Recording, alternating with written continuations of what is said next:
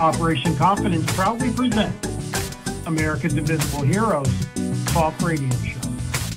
Tune in weekly on Sundays from 2 p.m. to 3.30 p.m. Pacific Time with your host, Consuelo Mackey. Co-host, Air Force veteran Matt Davidson. Announcers, Tayloure Marcella and Brooke Gadesi. U.S. Army veteran and entertainment segment host, Charles Whitehead.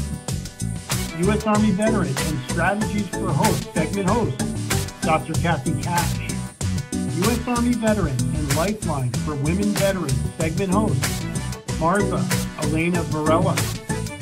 National Director of Faith Services, Chaplain, and Veterans in Recovery segment host, Anthony Akinfora.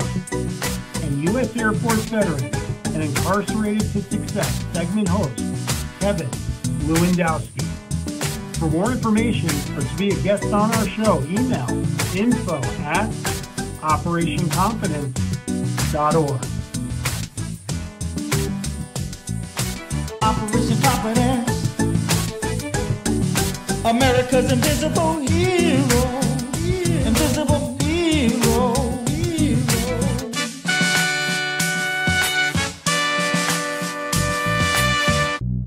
Operation Confidence is a grassroots nonprofit. The organization's mission is to provide stable housing for veterans who have experienced homelessness, as well as providing a wide range of supportive services. To help accomplish our goal, a successful landowner has donated land for the project, a world-renowned architect has offered to design the houses, and construction classes from the local community colleges will take part in building the houses. Your support and donations are needed. To get involved, please visit our website at www.operationconfidence.org or email info at operationconfidence.com. Okay.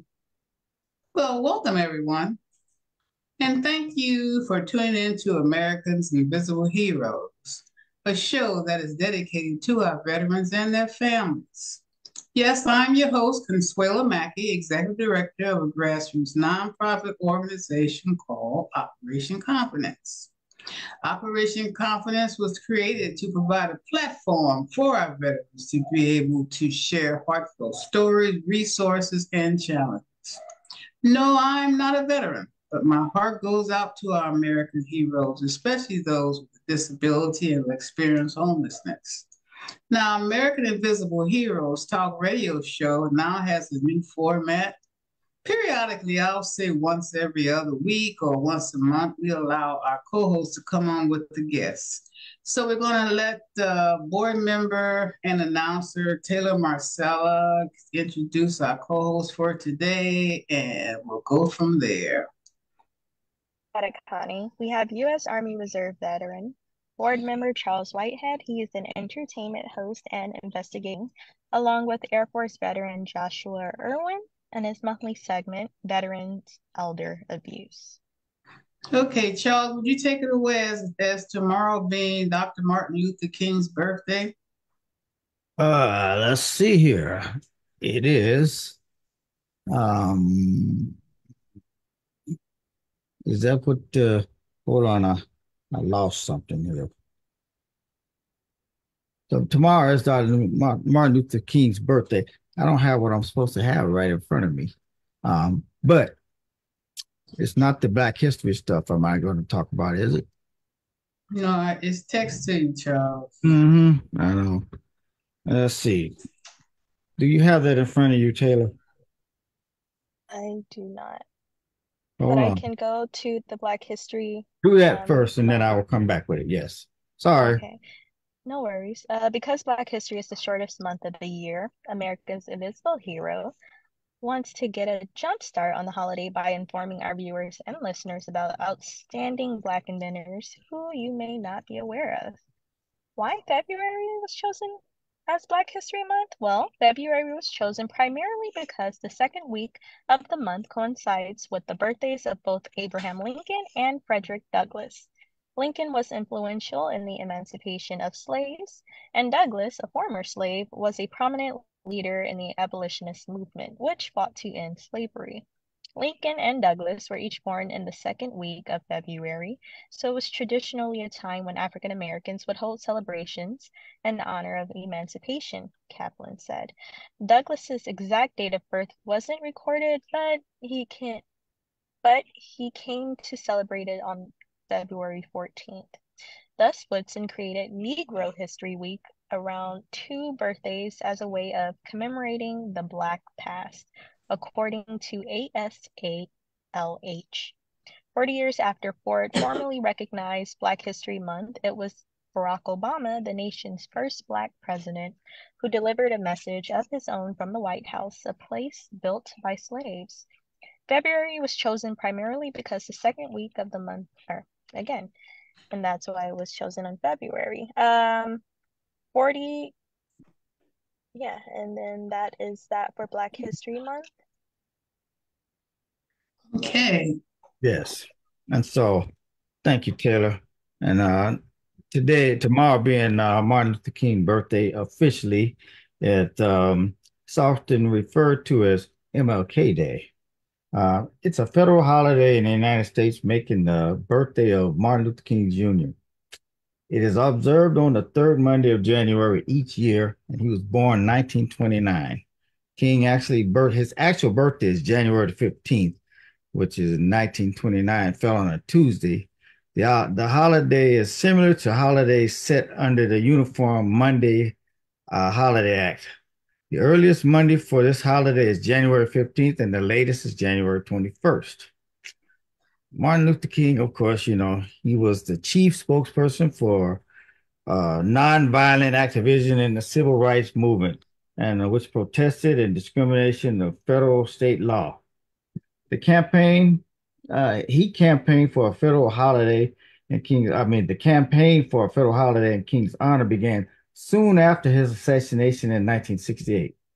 President Ronald Reagan signed the holiday into law in 1983, 1983, and it was first observed three years later on January 20th, 1986. At first, some states resisted observing the holiday as such, giving it uh, alternative names or combining it with other ho- holidays. It was officially observed in all 50 states for the first time in 2000. Now, that's a lot, you know. Martin Luther King did a lot to uh, advance, uh, you know, um, civil rights and all of these things. So, you know, the man has to be recognized. You know, we can't we can't be overlooking it. You know that, uh, and, and, people, it's un, it's a shame, but uh, to this day, some people would uh, uh, would still don't know why we have that holiday, but you know, we do now. It's crazy. So let me talk about the Black inventors.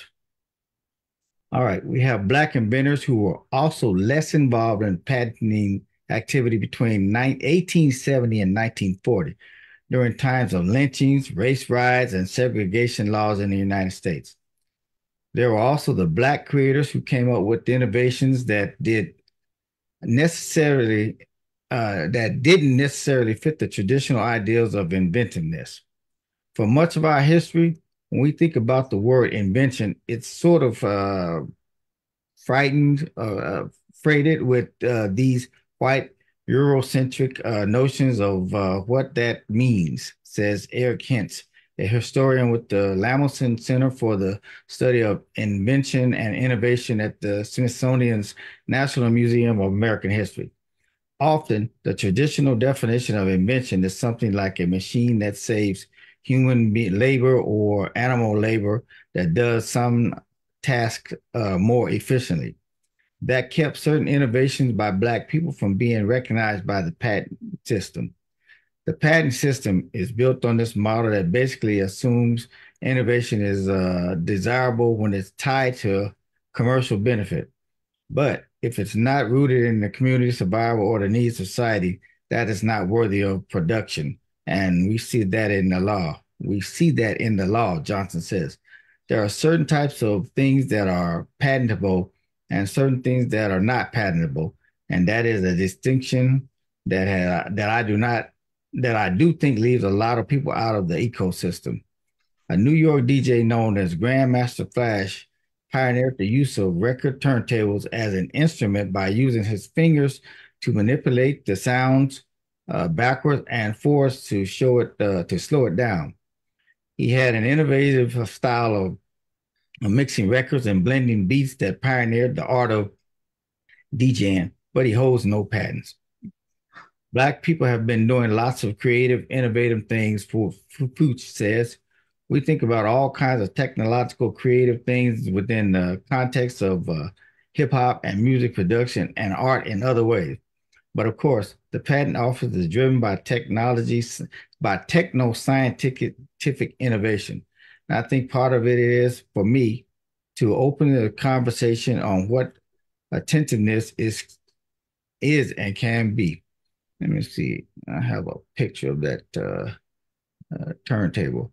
You know, when I was um when I went to Hawaii for my when I was doing my uh, two weeks time, you know, I went to Hawaii three times with my my reserve unit, and uh, I met this guy over there, and he was a like a, a you know he was a one of the the regular army guys, but he uh, was a DJ, and so they had this DJ, um, and he never knew anything about spinning, but but I had learned that stuff over here on my side because my cousins, I had cousins who were DJs, and uh, and I was actually do I actually DJed a club a club over there, you know, and and uh, and I was doing all that mixing and all that stuff, and that was in 1987, the first time I went. Wow. Uh, no, that was 1984, 85, and 86. 1987. So we went the first year. We were there for two weeks uh, while they had the Olympics here. And so mm-hmm. there, the two weeks the Olympics was here in LA. Uh, we were gone, and then uh, so we went. They went for like four or five years, but I got hurt um uh, in 87 before my uh before time to go but i went we went three years in a row and i was a dj and it was you know and so i kind of you know i'm djing in hawaii all right well, shoot, Don, oh, you ain't got nothing on me. So. OG, OG, child. Go ahead on, okay. You show the turntable? I'm Gonna show it now. All right here. It's not uh there you yeah, go. That's right. Yeah. That's old school. Old school, yeah. He was so, scratching yeah. everything, man. yeah, you know, so I had my little uh, you know, that was uh, I still uh, have one child. I still have one too.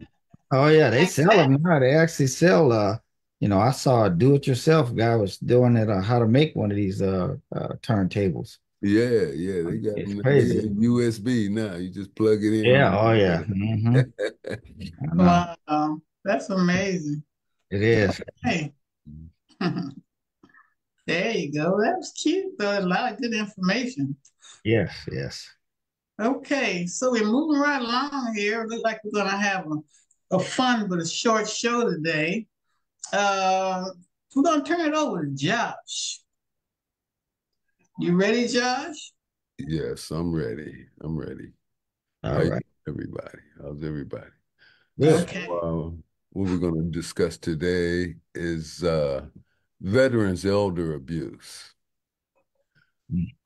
The VHA is the largest integrated federally funded healthcare system in the U.S. The VA census estimates that about 13 million veterans and their single surviving spouses are age 65 or older, representing about one third of the total senior population and 45.3% of the total veteran population.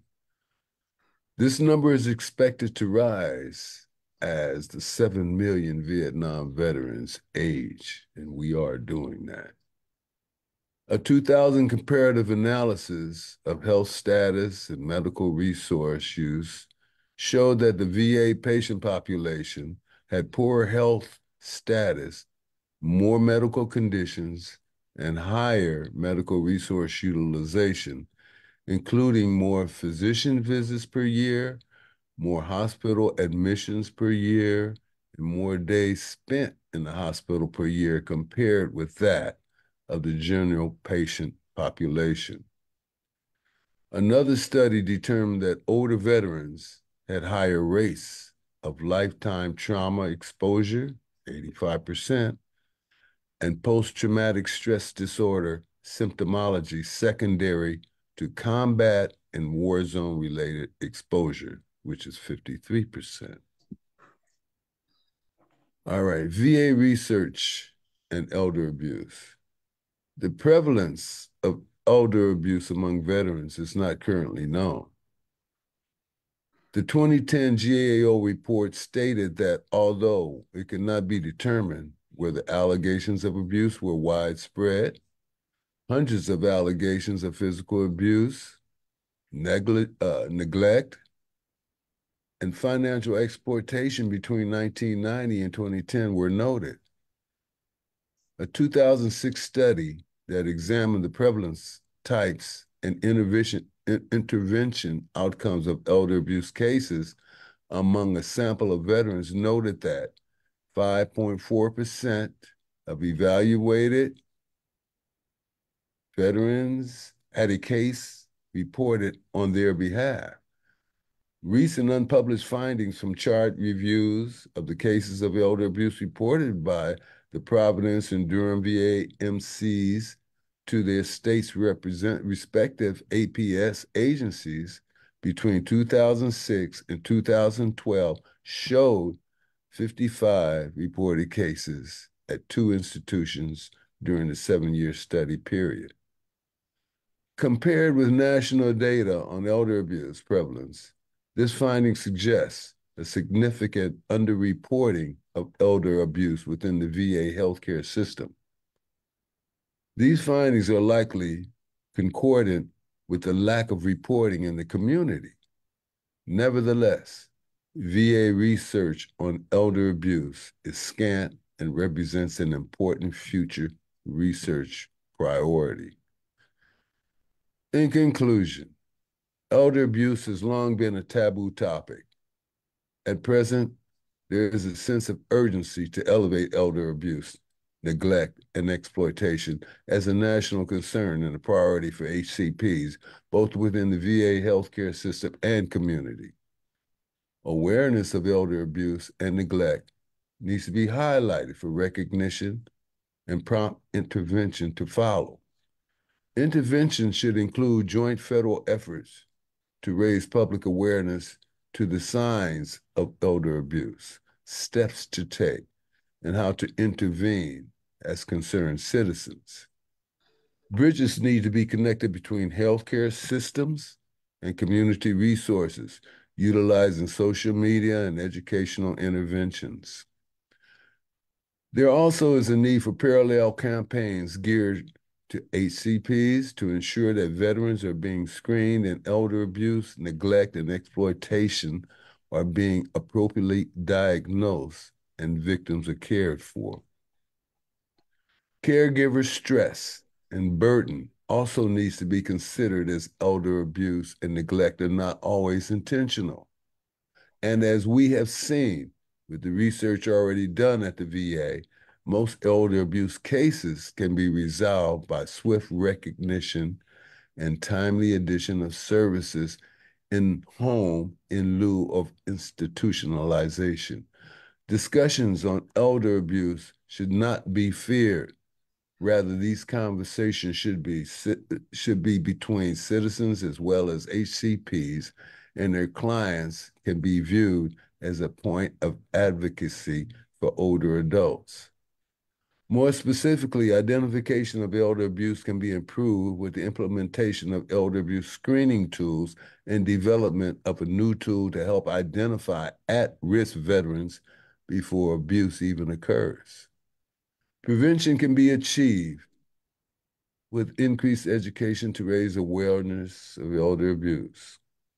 Treatment of elder abuse should be, include the development of standard operating procedures on elderly abuse, collaboration between state and local officials, such as Department of Elderly Affairs or Adult Protective Services, utilization of medical foster homes, increased accessibility to home-based primary care and respite services, as well as the development of shelter beds in VA-associated nursing homes for victims of elder abuse. Lastly, additional research is needed to better understand the prevalence of elder abuse among veterans, identify those who are most at risk within the veteran population, and inform the development of evidence-based interventions. As the number of older adults grows, the need for programs and services is critical to ensure protection and support this valuable group within our society. Wow, that's some heavy information. And it's a shame after serving our country and growing old, and we have to worry about them being abused. That's so sad. I know it's it's uh, bad enough, you know, they're they're being uh, uh, uh you know uh, abused uh for going out to wars and all of this stuff or whatever. Right. And then you have to come back home and Mhm. and you know you get treated worse than the enemy does. hmm right. Along with dealing with their own trauma. you know? Exactly, you know, you, you, know. Mhm. That is so sad. Well, I think um, interviews and presentations such as this will bring awareness, you know, Yeah. about some of the problems that's out there. Next uh, time you on, we're going to have some videos to show because I've seen some that were just awful. oh, You know, caretakers and and uh, Mhm. nursing home, veteran nursing homes. I mean, they literally drag those old people out, beat them up. Mhm. You know, I mean, it's sick, just sick. You know, Yeah. some family members literally have cameras hidden in the room so that they can prove their case. But other than that, it's just getting away with just beating our poor veterans to death and elders. Period. You know. yeah, yeah. Uh, it's really sad, but uh, thank you, Josh, for that information. That was quite important. Yeah. Uh, okay, Charles, you want to talk about Percy? Yes, Percy Lavon Julian. It was known as the soybean chemist. Julian's first invention was coating paper with the soy protein protein instead of a more expensive milk protein. That technique was used in a product called aerofoam. Aerofoam smothered oil and gasoline fires by blanketing them in the soybean based by in the soy-based foam. Aerofoam was adopted by the U.S. Navy and uh, saved the lives of thousands of sailors and naval airmen during World War II. However, Julian is most famous for using the soybean plant to create the synthetic hormones cortisone and uh.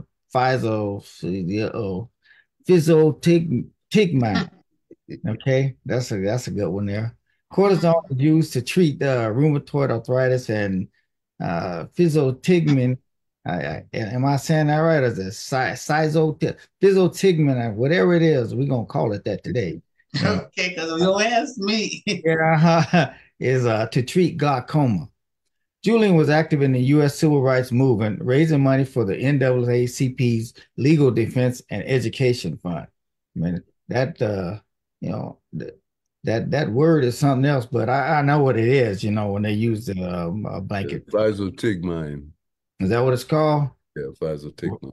Okay, well, you know that works today. Today we two two names. You know, yeah. Tayloure, did we have any yeah, picture on Percy, Julian, or not? Uh, uh, you sent a couple, but I don't know who the man in the single picture is. Okay, well, let's move on to you. But I have pictures for this next Okay, presentation. great. Okay. So Mhm. George Carruthers. George Carruthers, born 1939, invented the far ultraviolet camera spectrograph um, in 1969. It was plated in gold and carried aboard the Apollo 16 mission, where it was placed on the moon's surface. The camera used ultraviolet light, invisible to the naked eye, to capture high quality images of Earth. Carruthers' invention helped scientists to see how air pollution forms. This allowed them to develop new ways to control the air pollution. The camera also found hydrogen in deep space, which led to new ideas about the birth of stars in the universe. And so here are some pictures of the invention.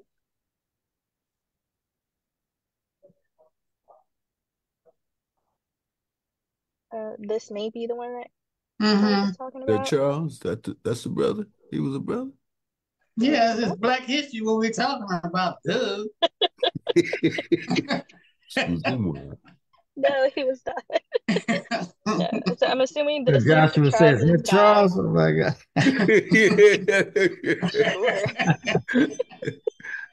And then here is my guy, Carruthers.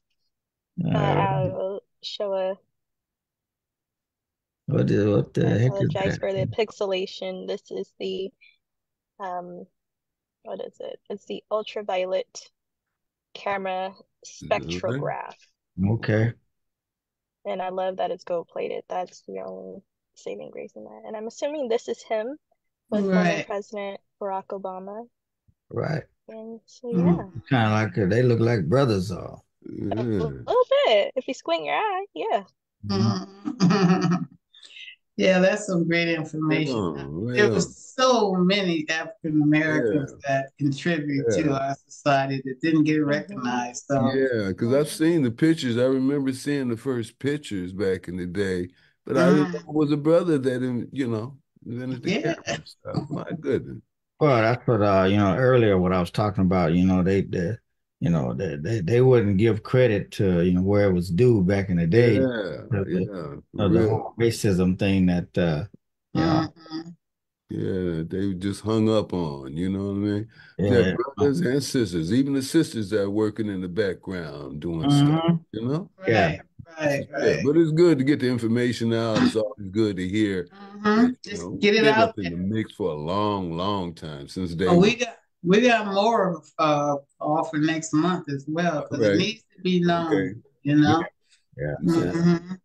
And our children need to know all this, you Yeah, know. right, right, right. know it, you know. So I'm glad we had that opportunity. So we're gonna wind down pretty pretty soon today. Charles, you have a funny clip? Oh yeah, uh, Miss Miss Schwan sent me a clip. You know, it was Oh, like, yeah, yeah. I was like, okay. She said, okay. She's like, I about you. She sent me this. I said, and it's a good one too. Let me, let me, uh, you know, I said, okay, all right.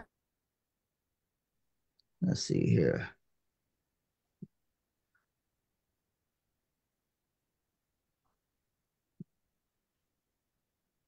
Let's see here.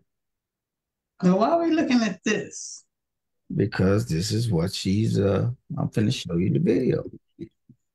Mr. Technician, you supposed to go straight to the I video. got oh yeah, there it is. I gotta make sure. It's supposed to give him a chance.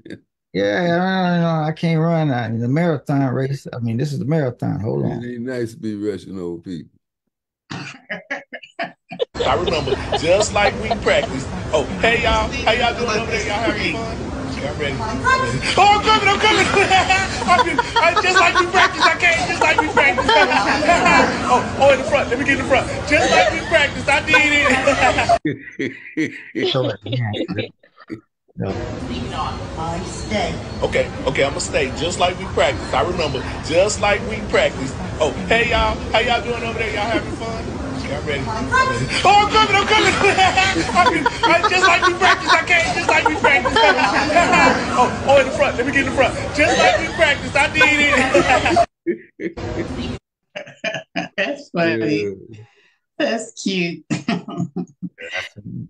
That's something that Cozy would be doing. Hey, yeah. Now I can't get my dog to do that shit. She be, uh, you know, she be trying to uh, uh, uh bite bite somebody, uh, you know, bark at. Oh, I got, I can, I can, you know, but I, what I do, I got her doing high fives, you know. Oh, really? Okay, that's cute. Yeah, you know. So maybe I put a video because you know she she's funny because I do that. You know, my sister be and you know this is a funny thing too. My sister, uh, because this is her dog. You know, this is the dog that was pulling me when I broke my leg. Right. Anyway, Mhm. but uh, uh, my sister buys these uh high uh I call it highfalutin treats. You know, all of this. You know, all yeah. homemade treats. I was like, I got that top, you know. I said, uh, you know, because I buy bread and uh and I don't uh, eat it all, so I take the bread and I, you know, I take a, a piece of bread and and and and cut it in half or two. I call them her treats. Boy, she started water, watering at the mouth. I said, you know, I said, I said, my sister said, you over there bumping my bumping her head. I'm like, hey, you know what? She be happy. You know, right, just for a piece of bread. Huh? Just, uh, Peter, she know this, these are the highfalutin treat. She don't need all that stuff. This is regular. You? I that, and then I got I sit down and I tell her, give me a high five. She give me a high Yeah. five, and she get, you know, I say, You okay. give her a little treat, she'll do everything. you Uh-huh, yeah. I'm like, so you got little all of this uh treat. gourmet stuff. I said, we just Yeah. can get the uh, home pride, you know. Well, next time, next week we're gonna show Cozy, my dog. He's a, a an adult Maltese. When I say adult, human Maltese. Mhm. He walks on his back legs, just walk around the house. He, Oh, I'm yeah. telling him to have a dog translator where he can hear Mhm. instead of just around like barking, they actually he a say things. bear. Huh? He walk around like he a bear. But you say, Yeah. Yeah, you see me right here. So he, walk, he literally walks around. And, when it's time to go out to go use the bathroom, if I don't move fast enough, he'll beat on the bed. Like, Mhm. hurry up, hurry up, get up, get up. So these dogs, I mean, they weren't like when, when my kids were growing up. They like way intelligent now. Have you noticed that? When Mhm. you were a kid, Yeah, you know, this dog, you know, we we got turn we didn't turn this into the dog show, but it's good. And, then this dog here, you know, you feed her. This dog gets uh she got a special diet, you know. I said, you eat better than a lot of people, you know. exactly. She gets she gets a, a, a raw chicken leg, an egg, uh, a Oh vitamin, uh, four baby carrots, uh, a Oh, wow. quarter of chicks cheese stick, three to four ounces of yogurt. I said, you know, uh, some salmon oil all on top What of type of dog is it? Hey, Uh, uh, that's uh, gourmet Louisiana dog Bloodhound. food Hound. there for sure. He's a cattle dog, you know. Oh, He's one of those dogs that the instincts is to, you know, to, to protect and uh Yeah. Rustle up the cattle. Yeah, so I take her out, and you know, and she she she can't be a, uh you know like the dogs. People dogs be oh no, she people are. I said I said I got a little Coo. Her name is Ginger, so I call her Cujo, but I call her Coo Ginger sometimes. You know, Mm, yeah. anybody know about Cujo that movie? They know what I'm talking. about. Yeah. Tayloure, wind us on out. Yes, ma'am. Before Miss Connie closes the show, I would like to encourage our viewers and listeners to visit the Operation Confidence resource page on our website at www.operationconfidence.org. Again, www.operationconfidence.org for some amazing resources. We would also like to inform our viewers and listeners about Operation Confidence Positive Redirection Team. It's a group of male and female veterans who are mentors, having overcome similar challenges and situations transitioning back into mainstream society. To be connected or become a team member, email us at info at operationconfidence.org. Again, info at operationconfidence.org.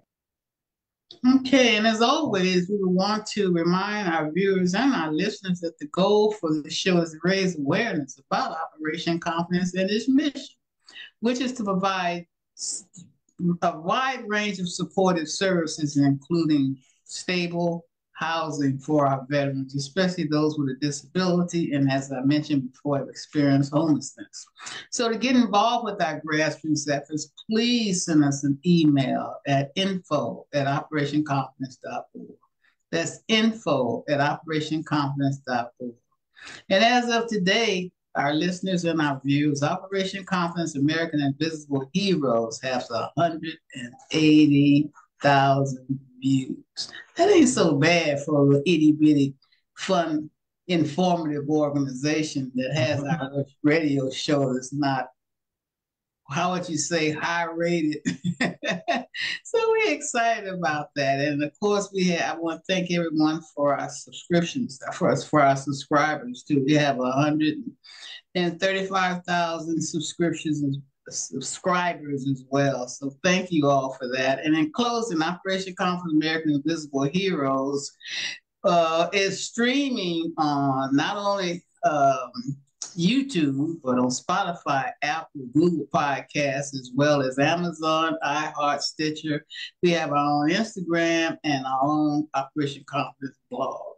So anyway, we thank you all for being here today. We want to thank our co-hosts for amazing right. presentation. Always our our board members, which all three of you are board members. We didn't tell the audience that this is board member day.